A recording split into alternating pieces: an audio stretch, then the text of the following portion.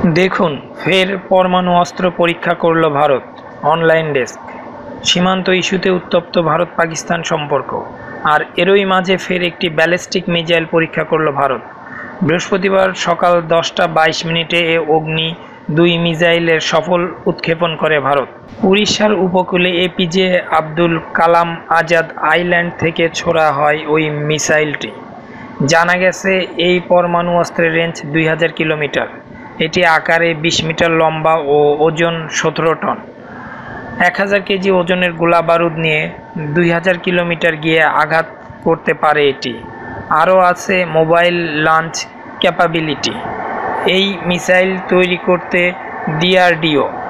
প্রসঙ্গত multi test staging, state of art control, flight trial সবটাতেই সফল হয়েছে অগ্নি তিন।